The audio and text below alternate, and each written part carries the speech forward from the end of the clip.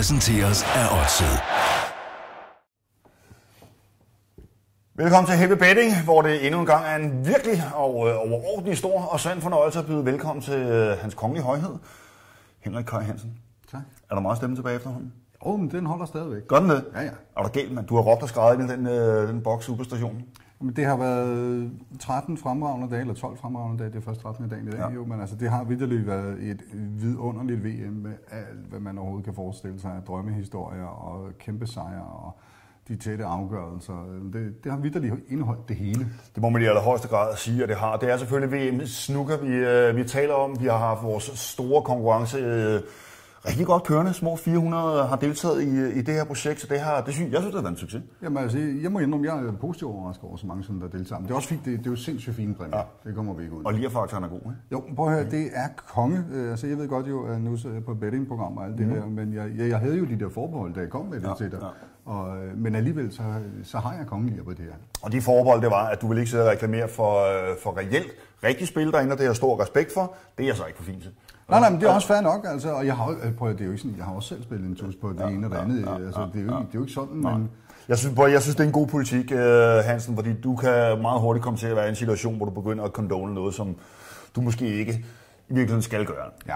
Men øh, vi står nu, semifinalerne, de skal til at i gang. Der har været et par store overraskelser i kvartfinalerne. Øh, Ronnie O'Sullivan ryger ud, øh, og måske i virkeligheden var det ikke så stor en overraskelse, eller hvad? Er Ronnie røget ud? Ja.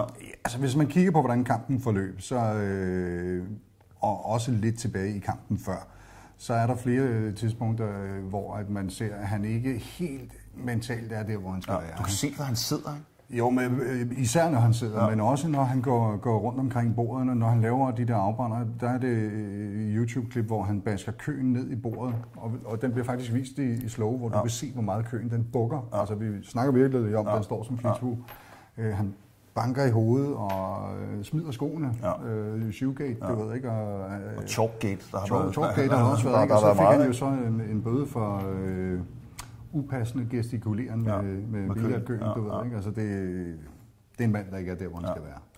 Og det øh, afsted kom jo så også, at Bingham han, øh, tog en relativt sikker sejr over og er nu i, i semifinalen for første gang i hans karriere. Og det vender vi tilbage til, fordi det er jo øh, naturligvis en del af programmet, når vi har Henrik i studiet, så skal vi selvfølgelig også lige have et, et bet for, for manden himself. Og vi må jo også øh, være ærlige og konstatere, at øh, Bamsefaktoren, den er jo tårnhøj. Hansen, du er bagud 2-0. øh, Ja, i jamen, det, det, det må jeg blankt erkende jo. Altså, der er du altså, langt bagud, Ja. og det skal vi ikke tage med om. Jo, jo, jo, men det kan, det kan vi sagtens, fordi at vi, skal, altså, vi er nødt til at have en bamse ud på finalen alene. jo. Ja, det er, altså, det er 100 procent. Det, det giver sig selv. Det er 100 procent, men den tror jeg måske, det kan blive svært at blive uenig om. Fordi der, der tror jeg faktisk, vi er, vi er enige i, hvad der kommer til at ske, men, men vi må ikke lige finde på et eller andet. Nej, ikke, vi er ikke helt enige, for jeg er jo en af dem der, der jeg kan både spille med hovedet og med hjertet. Okay. Jamen altså, jeg, altså, hvis jeg skal have pege på, på en VM-vinder herfra, altså der kan jeg... Øh, altså, finalen den giver sig selv. Altså, det bliver Murphy mod Trump. Der er vi helt enige. Altså, det, der er vi helt enige. Der skal virkelig et mirakel til, at bibelske Ja. proportioner Ja, ja, ja, for, at ja. det ikke kommer til at ske. Og så synes jeg så derfra, altså begge spillere har jo naturligvis øh, leveret på den øverste, allerøverste snooker, snookerhylde. Jeg synes dog, at, at Trump han har lige det sidste lille gear. Altså, øh, jeg sagde i, i februar måned, mærker jeg min ord, så Murphy bliver verdensmester. Ja. Det står jeg ved, og det Okay. har jeg stået ved indtil videre. Så har vi jo bremsen. Jamen, det er det, vi har nemlig. Men det, det ser lidt ud fra, at jeg øh, godt vil have øh, historien og hjertet med og alt det der. Ja. Fordi efter kvartfinalerne, der giver det sig selv, at Trump er manden, der skal slås. Ja. Øh, han har haft det flotteste spil, han har haft det mest stabile spil, ja. han har været direkte frygtindgydende imod øh, Ding Junhui. Det må man sige, 6-0 altså. i front. Han Ja. ja. vinder 13-4. Ja. Ding spillede ikke dårligt i den her kamp. Han fik bare ikke nogen chancer. Ja. Så en VM-finale, det må være Murphy mod Trump, og du får Trump ingen problemer, og så har vi en bamse med sidevogn, fordi jeg er nødt til at spille med der. Bevares, bevares. Så er der en bamse med sidevogn, så, så 3-0 og sidevogn, det er rent faktisk... øh, Det, er det, vi er ude i. Det er, der, det det, vi er ude i. Men Hansen, der var jo en, øh, der, der var en, en kamp, som, øh, som alt andet lige har skilt sig ud under det her VM. Kvartfinalen, øh, Hawkins mod øh, Robertson. Et fuldstændig afsindigt opgør, som ender med... øh, 13-12 til, til Hawkins. Der var jeg personligt lidt ked af, i og med at jeg havde nogle rigtige penge ude på, øh, mm-hmm. på Robertson. Men, men øh, på that aside, så må man jo bare sige, at det her, det var jo, altså, det var jo simpelthen lemliggørelsen af, hvorfor vi elsker snooker. Ja, altså den kamp, den viser jo med al tydelighed, øh, hvor skarpe de kan være, når at de spiller op til deres allerbedste. Ja. Kampen indeholder øh, 3 eller 440 plus, Ja. 800 breaks alt i alt. Ja. Det er kun sket tre gange før ved VM, Ja. og det er i alle tre tilfælde i bedst af 33 eller 35 kampe, altså ja. semifinale finale. Her snakker vi 800 breaks i 25 frames. Ja. Det er altså hver tredje frame, der, er, der er et 100 break. Og så må vi, altså, så der lige de der 80 og 90, vi, vi prøvede dem med, ikke? præcis. Og så kan man sige, det var jo ikke sådan noget 101 og 102. nej, altså, vi, nej, er altså nej, op, vi er altså oppe på, på 140, ikke? 142. 140 plus, ikke? Ja. Altså, det, det, er, det er virkelig, virkelig exceptionelt. Og hvis man skal sammenligne det lidt med historien om, hvordan øh, snooker så også har udviklet sig og sådan noget. 77 er, er første år i, i Crucible, der Med var kun 6. 600 breaks. Året efter, 7. Altså, det, det er vildt. det er helt til grin at lave 800 breaks i, i, I 25 én kamp. I 25 altså, ja, det, er helt, det er helt hjernet. Og det var fantastisk. Jo, altså, altså, hvordan, er det- det, hvordan er det at sidde og spise en kamp? Altså, er det fænomenalt. altså, et eller andet sted hen. vitterligt fænomenalt. Du er vel ikke på arbejde der, vel? Der sidder du vel bare i virkeligheden og, og nyder det, og, Ja, og lader dig med. altså, man må ikke sige det højt, vel, men altså lige, lige snooker VM, det er sgu ikke arbejde for mig. Nej. Det, det er den fedeste hobby, Ja. man kan forestille Ja. sig. Jeg glæder mig til det hvert år. Og jo, jeg ved godt, det er fra 10 til 24 dage, 17 dage, alt muligt andet, og alt bliver puttet til side, og så må vi samle op bagefter, hvad vi har glemt Ja, ja, undervejs. ja. Ikke? Altså, men prøv, jeg vil ikke undvære det for noget som helst. Det er sådan en voksen mands øh, juleaften. Jamen, det, prøv at, det, Altså er, det, det, det er ikke? Ja, ja. Jeg er fuldstændig, jeg er fuldstændig enig, at det har været et, øh, et forrygende VM, det her. Det har det. Altså virkelig mange fede oplevelser. Og det er ikke slut endnu. Jeg er sikker på, at vi får to semifinaler af en exceptionel høj kvalitet. Ja. Og så er jeg, altså jeg kan kun håbe på, at finalen også kommer ud i 4 eller 35 frames. Ja. Og det er der altså noget, der tyder på, at det rent faktisk godt kunne til, blive til. Altså bliver det, bliver det Murphy og, og Trump, så er der ingen af dem, der bliver kørt over. Nej, nej. Det er der Helt ikke. sikkert. Altså, den, den, den bliver altså fuldt til dørs, den her. Men øh, det har jo så også været et, øh, et VM, hvor du har, øh, ligesom sidste år, har haft gæster i studiet, og der skal jeg da ellers lige love for. Jeg har selv øh, fornøjelsen af at være med i Ja, øh, ja, ja. den, den korteste øh, mm. snukudsendelse, du nogensinde har lavet. jeg er tæt på, ja. Var det 43 minutter, Ja, øh, at du fik, ja. du fik talt det sammen til, at, at det blev til alt i alt? Og der har ellers været, øh, der har været røg i endam efter det. Ja, det må man sige, altså, men det hænger jo selvfølgelig sammen med, at, at folk jo gerne ville have haft talt, øh, skal vi sige, kampen til slut. Men hvor at jeg jo så vælger den øh, variant der med, at nu har jeg inviteret en gæst ind. Jeg har startet, startet et projekt med det her spil på, for Funny Money og alt muligt andet godt. Øh, og det var jo den dag, du kunne, så Ja. der var ikke så meget der. Nej. Det, vi måtte følge Ja. det her til dørs, og kampen gav helt sig selv. Ja, ja det må man var- sige. Altså, begge kampe gav helt sig selv. Der var ikke noget udfald på de kampe, Nej. som kunne, kunne have blevet ændret. Havde vi siddet der i tre timer, kampen havde udviklet Ja. sig undervejs, så, Så havde vi fået overstået alt vores øh, hyggesnak Ja, der i starten, ja. og så har det været kampen, der drejede sig om til slut. Det var bare ikke muligt den dag.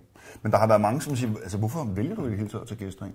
Det gør jeg, fordi at der er mange ting, som skal... Eller, der er ikke mange ting, der skal. Jeg tager lidt min rolle som øh, snookerkommentator. Øh, ah, det er måske lidt voldsomt at sige det som. Jeg tænker lidt til, at jeg har lyst til at tage det et skridt videre. Ja. Fordi jeg sidder i en meget øh, unik position til at, at hjælpe folk øh, rundt omkring i landet med at få startet snookerklubber op. Nu øh, så havde vi jo øh, Lasse inde øh, fra Copenhagen Buller Snooker House, ja. hvor vi talte om snookerklubber generelt. Vi fik dækket øh, instruktion for unge, for ældre, ja. for kørestolsbrugere, ja.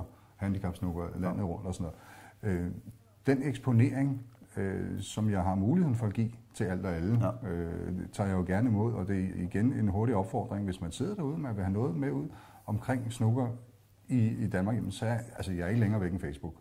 Og det er meget nemt. Du, Ja, det, det, du er meget nemt at komme i kontakt med. Jamen, prøv, altså, jeg tager også min telefon, hvis den ringer om formiddagen. Det, er jo, Ja. det er jo ikke sådan, at jeg ikke vil tale med folk eller noget som helst. Jeg er jo ikke... Men kan man sige, det er, altså, du vil gerne male et lidt, øh, et lidt bredere billede af snooker. Og alle aspekter af snooker Ja. vil, vil du gerne hen over. Der er den underholdende del, der er bettingdelen, og der ja. er altså, den rent spiltekniske del osv. Ja. Ja. Og det prøver du ligesom, fordi det her det er altså det største udstillingsvindue.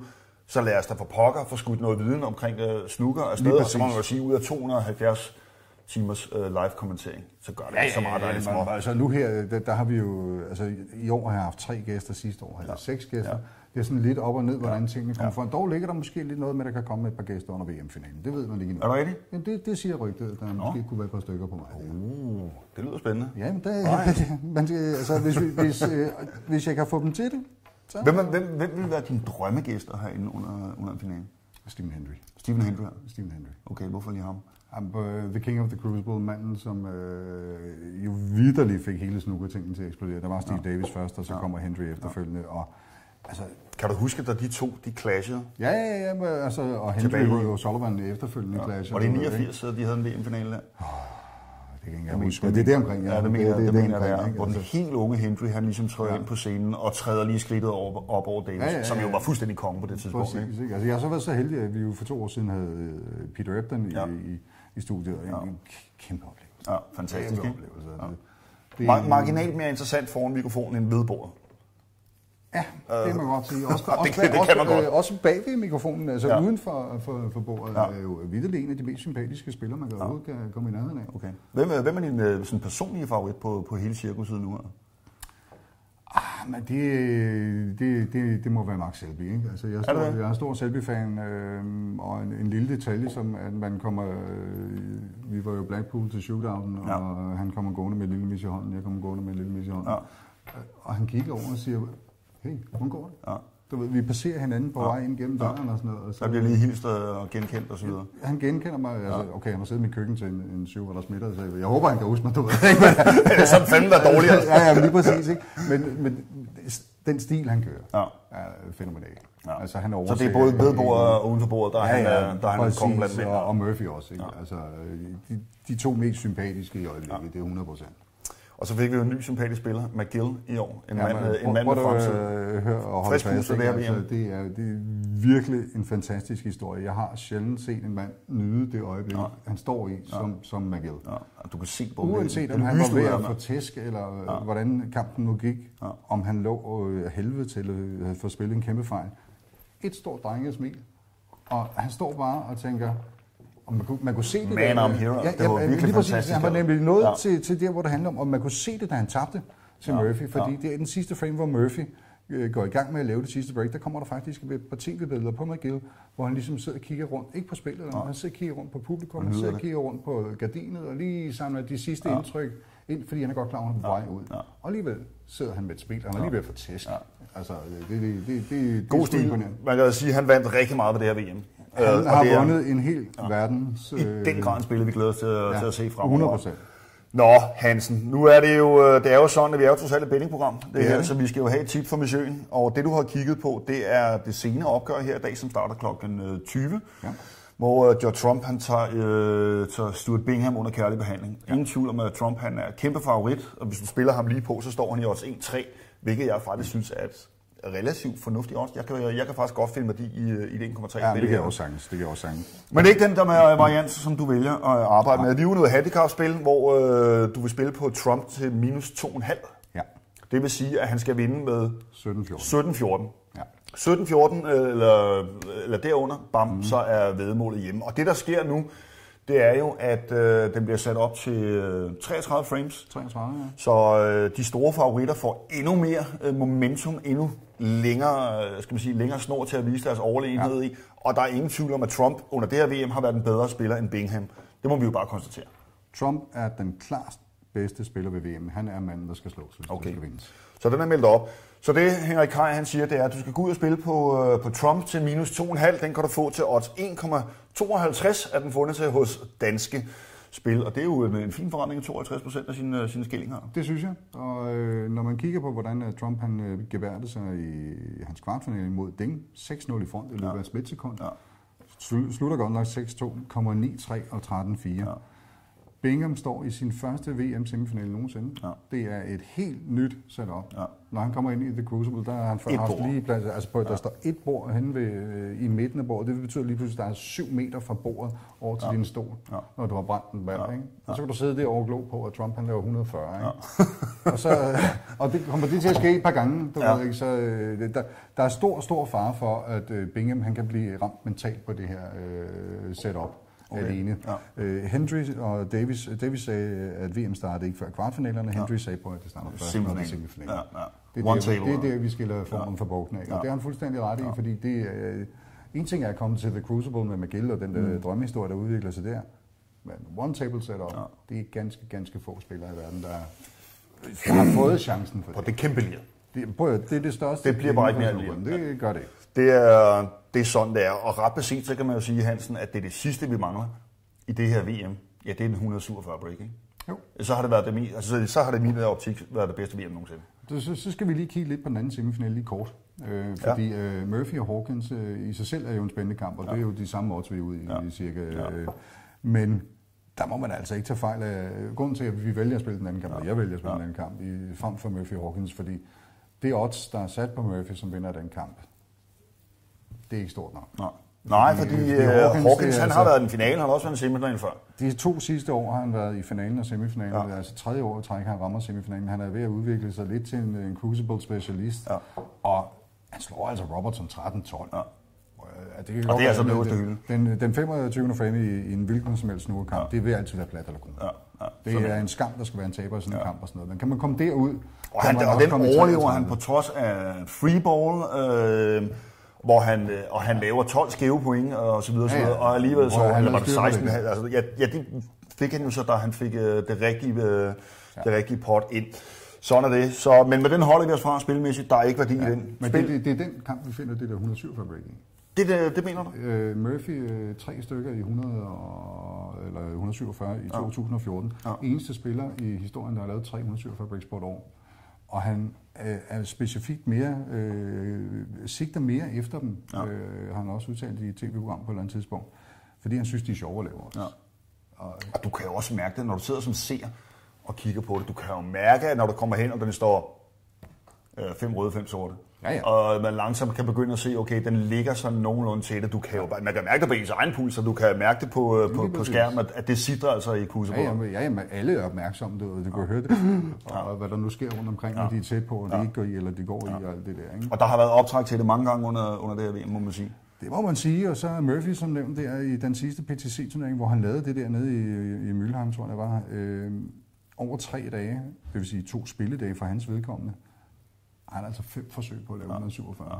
Han brænder den ene på den sidste sorte, ja. altså øh, 15 røde, øh, nummer 15 ja. sort. Han brænder på grøn, Ej. og han sætter den på det femte forsøg. Okay. Altså fem forsøg på 147 på en weekend. Er du klar over, hvor godt du spiller, Ej, når du kan lave sådan noget? Helt, helt sindssygt. En anden ting kan man sige, det er jo også helt fuldstændig vanvittigt, at en Robertson ikke er videre til semifinalen. Vi taler altså om en mand, der fire gange øh, passerer 140. Jo, det er jo helt vildt, så du så åbenbart ikke god nok til semifinalen. Men det er, øh, altså når vi kommer ud i den sidste afgørende for ja. det bedste af en, det er 300.000 kroner, det er VM. Så flipper vi med den, ikke? Jamen det er, uh, altså det er plat eller kun. Sådan er det. Du hørte det her fra Henrik Kai Hansen fra Eurosport, hvad du skulle stikke ud på. Det var altså John Trump minus 2,5 til 1,52 hos Danske Spil. Herr Hansen, Øh, endnu en Bamse Tsunami venter til... Øh, til Med stor sandsynlighed. jeg får en 2-0 i hvert fald. Ja, det må man sige. Sådan er det. Øh, det var som så vanligt fornøjelse at, at lige øh, have dig på besøg her i vores lille ydmyge studie. Husk nu din uh, snukker på Eurosport. Det er altså for alvor nu, det trækker sammen. Hansen, have på god arbejdsdag. Jeg skal glæde mig til at ligge og følge med. Tak skal du have. Tak for opmærksomheden.